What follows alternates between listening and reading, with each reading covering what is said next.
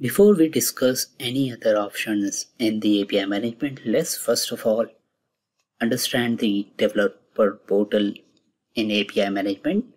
Let's look at what are the different features, capabilities developer portal offers within the API management. Let's jump into the Azure portal.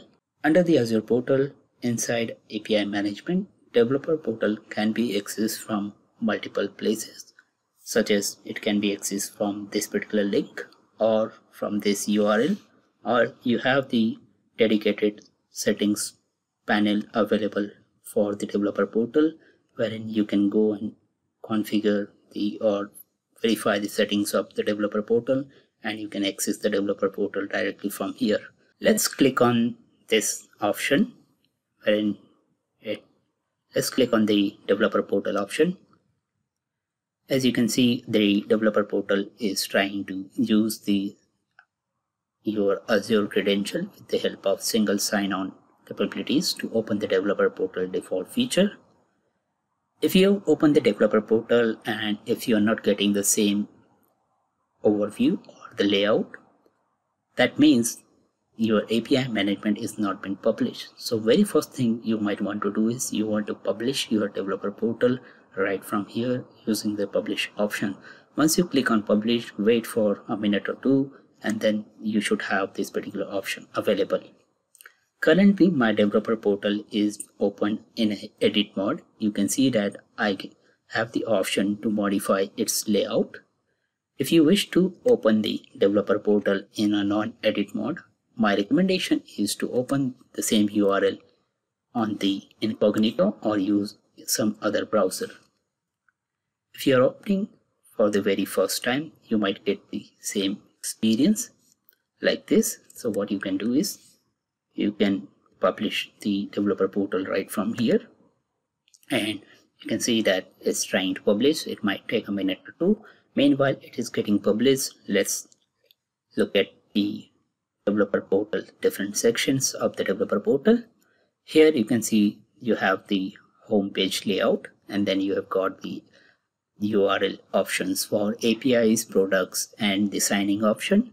If you wish to change the layout of the API management, you can directly change it from here. You click on the any of the section. Let's say I would like to change from here. I would say welcome to a learner and here I can change it. Once you change that, you wish to save it and then publish it. Here is how the developer portal has been published and I can access the portal right from here. If I click on APIs or the APIs which has been published, I can see here any products which has been exposed it's available here. I can go and sign in to any of my APIs. So once I so I've successfully logged into the developer portal using the using my own Gmail account and now I'm I as a external user or external provider whom I would like to pursue the APIs hosted by Be a Learner. I would like to expose the APIs right from here or consume the API from here. So I can consume the APIs and find the API details from this API section or I can find the API details from the product section. So what is the product basically? Product is the logical grouping of APIs which holds one or more APIs and its metadata. And a user can basically subscribe to these products. And then once you, they subscribe to the product they get a dedicated secure key associated with this product. And using that particular secure key they can consume the API in a secure fashion so for example, if the product is marked as a uh, subscription requires, it means uh, any consumer needs to subscribe to the product and once they, they uh, subscribe to the product, they will receive a key and then a key can be used to consume the API. So let's jump into the Azure portal and create. On the API section, you have the product section. You get the default two products so let's create our very first product. We'll call the conference product. We'll provide the detail this and further you have the settings called do you wish to publish the pro product onto the portal once you click on publish it would be uh, available on the developer portal for the, any user to consume it next option is require subscription. Do you wish to offer a subscription or you would like to expose your product without any subscription by default without security which is not recommended and that's the reason by default this option was selected. Next is the require approval. So even though let's say somebody is subscribing to a product do you wish to manage those subscription by your api administrator? So that let's say if i am subscribing to a product then subscription request will go to the administrator and then administrator will make a decision whether this is or requester is a legitimate user or the organization or not and based on their uh, due diligence they would basically either approve or reject the subscription so that uh, once uh, after a subscription approval they would have the valid user to you know they, they would be valid user to consume the uh, apis available within the product. Next option is the number of subscription count limit.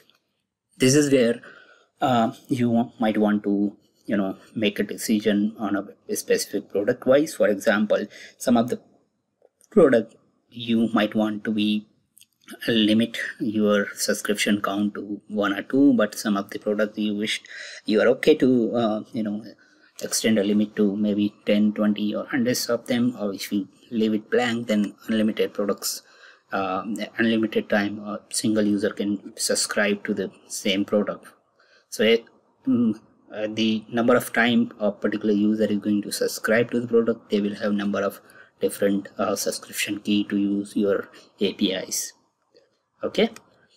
So let's consider the limit of the subscription as a two so only two different subscription a single user can perform on this particular product here you can provide uh, all your legal terms and condition which a user would require to accept. Put some details around here. Now next and last very uh, important thing is you can attach an APIs to the product which you can attach it to later stage as well. So if I click create, I can create the or attach the API after the product has been created. So by default, the access control has been managed through the uh, to the to the administrator only. I'll show you what does it means. So now let's go to the product and here on this settings you can verify the same setting or modify the same setting if you wish to. And on the API you can attach an API to this particular product. Once I click on the add you get the option to select an API so here I'm selecting this particular API at the moment my API does not contain multiple versions. So that's the reason that a version is not coming here. So all the operations available in this API is now part of this particular product if you wish to attach a uh, dedicated policy to the this particular product you can apply the policy on a product level as well.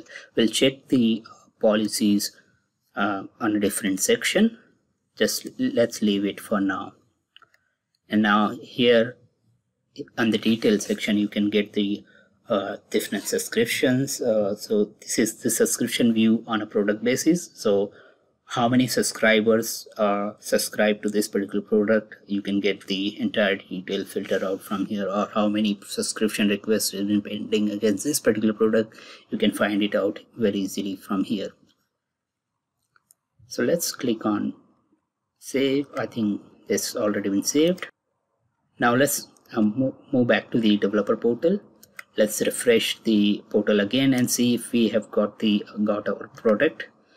We haven't received a product uh, the conference product which we have created the reason for that is if you go to the product setting again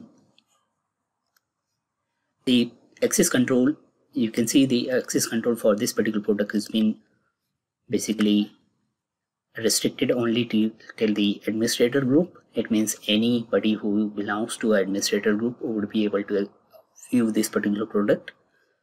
And i as in my gmail user i'm not part of that administrator group. That's the reason i'm not able to view that particular product. So in order to expose the product to a different group because as i am a subscribed valid user i belongs to a developer group. And how do you verify that particular user belongs to that group you can go to the developer portal. You have various options. You have the group option wherein you can create and manage your existing or you can you can manage your existing groups. You can create a new groups to your api management from here and you can click on the groups. You can see the members of the group and you can see that uh, there are two members. One is the gmail user which I just now subscribe it. Sign up to so once you sign up to the api management by default you add it to the development group or developers group. And that's when uh, any api which has been exposed to this particular group will be uh, available to all the members available within this particular group. So now in order to expose the API to uh, my Gmail group, what I need to do is I need to expose this particular group to the developers group as well. So I can go to the access control within the conference product. I can add the API to the this group and then okay and this group now the API has been exposed to the developers group as well one thing to remember here is all the APIs by default will be exposed to administrator so that administrator can manage your products and APIs from the portal. Now let's go to the developer portal and refresh again.